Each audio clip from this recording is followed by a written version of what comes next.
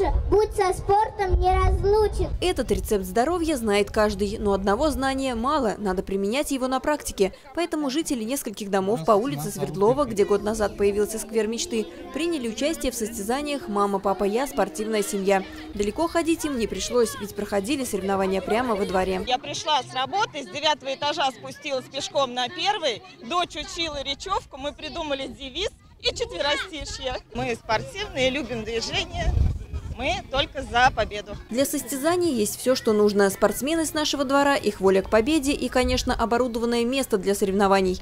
Год назад депутат по местному округу Наталья Красильникова предложила жителям обустроить сквер с площадками для отдыха и спорта. Активно помогала реализовать проект. Пригласила неравнодушных людей. В частности, Балаковский филиал АО «Апатит» выделил средства на благоустройство сквера мечты, а заместитель председателя областной думы Ольга Балякина профинансировала строительство полосы препятствий для детских соревнований. Там-то и развернулось основное действо. В борьбу вступили 11 семей. В каждой команде по три человека – мама, папа и ребенок. И в состязаниях они не только мышцы укрепляли, но и родственные узы. Организатор состязаний, некоммерческая организация «Дрозд Балакова», как и вся компания «Фусагра», выступает за семейные ценности. Сегодня устраиваем праздник детям.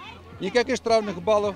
Самое главное, что ребенок пробежал, почувствовал руку э, папы и мамы, а потом в конце они все получают подарки. Призы очень хорошие. За первое, второе, третье место призы выделяет компания «Фосагра».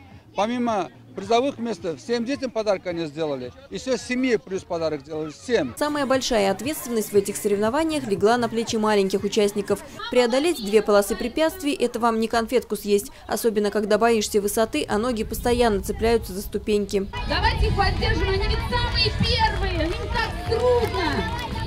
Родителям тоже придумали задание. Мамы прыгали на скакалке. Можно? Да. Папы демонстрировали силу, поднимая 16-килограммовую гирю. Устали? Не могу. А затем каждая семья напрыгала в зачет по паре метров. Стоять? Организаторы мероприятия уверены, такие спортивные праздники должны стать традиционными, ведь сквер мечты для этого отлично подходит. И ребята с этого двора, конечно, будут долго делиться впечатлениями от соревнований. Мы помним какие-то прекрасные моменты, буквально вот пару минут назад обсуждали горячую картошку, которую запекали в костре, ели ее. То есть все были чумазы. Это одно из воспоминаний. У кого-то это другие, там, не знаю, деревни, дачи.